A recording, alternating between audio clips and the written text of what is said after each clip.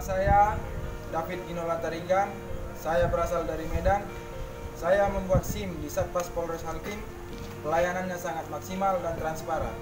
Maka dari itu, saya menghimbau untuk seluruh teman-teman agar mengurus SIM atau membuat SIM datang langsung sendiri tanpa menggunakan jasa calo.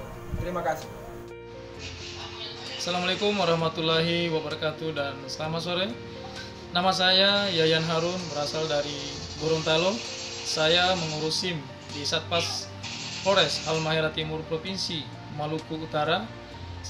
Pelayanannya sangat bagus, eh, transparan, dan akuntabel.